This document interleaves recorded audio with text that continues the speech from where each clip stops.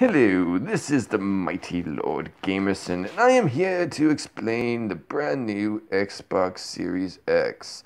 The new Xbox is dropping in just a few months, and it's time to drop a brickload of power into your living room. So here it is, the exciting, the brand new Xbox Series X. The Xbox Series X uses a solid state drive, unlike the hard drives from previous systems. You get a whole one terabyte of storage space on this beast. It's even expandable. Go ahead and expand it. You know the games are going to be big. The speed of the SSD is impressive at 4.8 to 6 gigabytes a second. Microsoft's Velocity engine uses a decompression chip in the hardware, plus new software solutions for maximum data management, so the SSD to RAM transfer doesn't overtax the CPU and slow everything down. Oh, look at that! Where did all the load times go? Thanks, SSD. The SSD is a 1TB custom NVMe SSD. It's got 16 gigabytes of GDDR6 RAM with a 320 megabyte bus. 10 gigabytes of said memory has a speed of 10 gigabytes at 560 gigabytes per second, and 6 gigabytes at 336 gigabytes per second. And it has I/O throughput, which determines how fast it can transfer data to the console.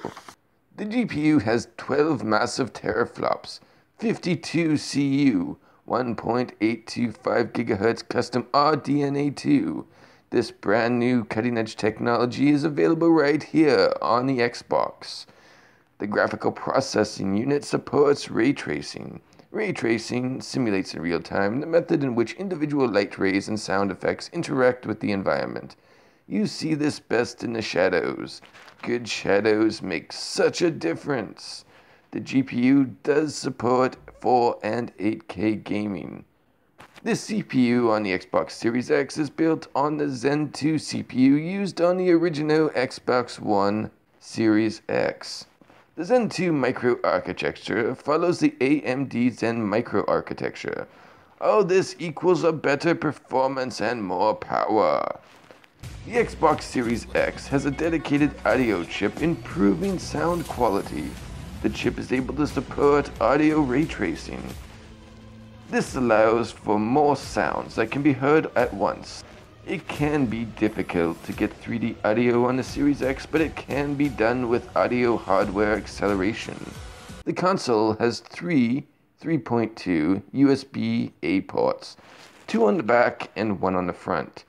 There's an HDMI 2.1 port that runs at 4K at 120 Hz and 8K at 60 Hz. There's an Ethernet port and a Kensington lock so you can lock your Xbox in place when you're on the go. The controller is mostly the same as the Xbox One controller. A decent improvement is a dynamic latency input built into the controller and this significantly reduces input lag.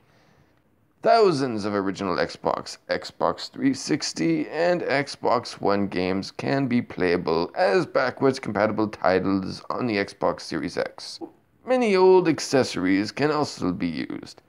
Series X can add HDR to older titles, and the games will run better. Thanks for joining me, the Mighty One as I give you a basic rundown of the Xbox Series X. Subscribe to Lord Gamerson on updates and next generation information.